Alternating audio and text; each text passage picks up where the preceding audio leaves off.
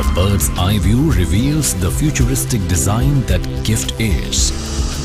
A truly international and high-tech city spread over 886 acres of land by the riverside, the master plan is divided into two zones. A notified multiple services special economic zone with processing and non-processing areas and the remaining area as domestic tariff area, the DTA.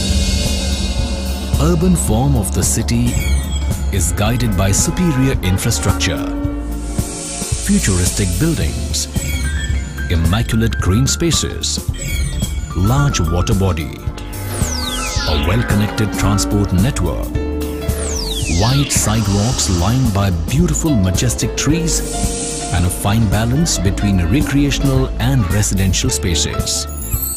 In this boundaryless world at GIFT, the building blocks are planned sans boundary walls. The most picturesque public space is the Samruddhi Sarovar, a recreation lifeline of GIFT connected to Tapas Udyan, the green lung of the city by a 60 meter wide pedestrian green boulevard. Tapas Udyan is flanked by an institutional zone that will offer world-class education and healthcare.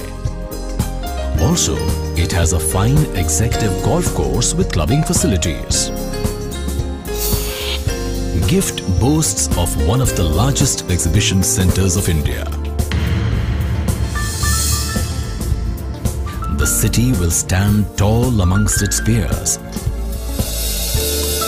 recreating a dazzling skyline silhouetted against a river with Diamond Tower as its centerpiece, a 410 meter tall structure that speaks